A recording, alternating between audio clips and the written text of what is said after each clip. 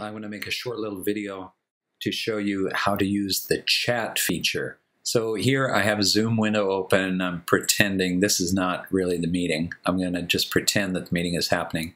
And then you were looking for a button that said text. No. Look along the bottom of your screen. You'll see mute, which turns on and off your microphone. Uh, stop video. If I stop video, you won't see me anymore.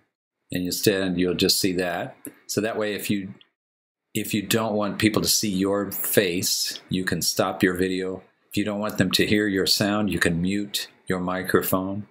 And then if you keep going over, you'll see something that says chat. When I click on this chat button, do you see my mouse moving around the screen? Chat button's right down here. When I click on it, something's going to open up.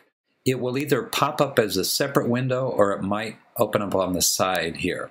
So follow my mouse down. If I wanted to type in a chat message for everyone in the meeting to read, I click in this field down here. It says type message here. And I'm going to say,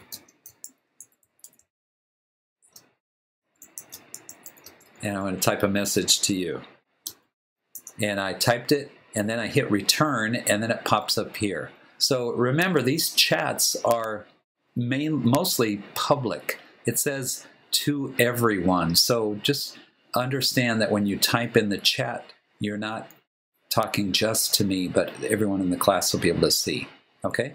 And then you, if you want to type something again, you type again, and you hit return, and and it pops up here. And then uh, um, I'll be able to see if you type in a question for me or comments or that sort of thing. So I hope that helps.